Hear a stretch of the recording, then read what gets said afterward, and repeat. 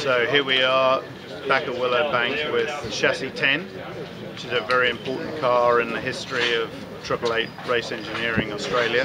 It's the car that Craig won with in Eastern Creek at uh, May 2005, then went on to win Bathurst in 2006 and Jamie won with the car in Team Vodafone colours in 2007 at Winton. So very important car in our history, just been restored from the ground up by Gary Bailey to be exactly the same as it was the morning of the start of the race at Bathurst uh, for the Peter Brock Trophy in 2006 that uh, of course we went on to win.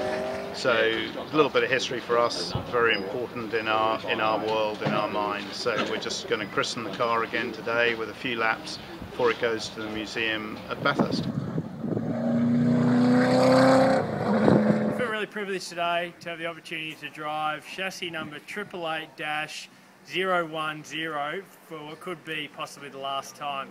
Uh, I used to watch this car getting driven by Lowndesy and to win so many round wins.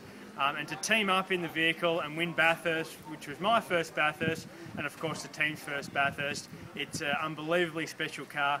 Can't believe how good a nick it's in at the moment, and uh, I'm looking forward to taking it for a couple of quiet laps. And uh, don't worry, I'll look after it for you.